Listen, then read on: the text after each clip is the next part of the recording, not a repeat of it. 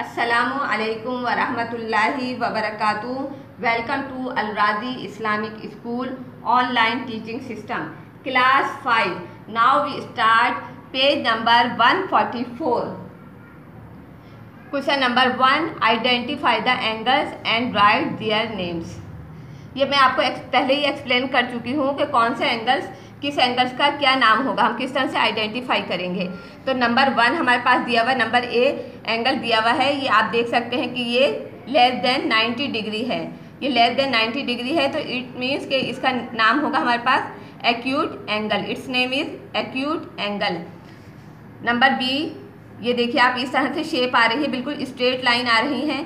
तो it it's name is right angle इसी तरह से आपने बाकी एंगल्स को जो है आइडेंटिफाई करके इन सब एंगल्स के नाम लिखने हैं।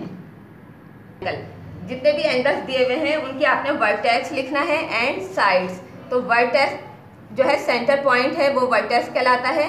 तो वर्टेक्स हमारे पास होगा ओ और साइड हम लिखेंगे I O and O H O H इस तरह से ये हमारी वर्टेक्स और साइड्स कंप्लीट हो गई।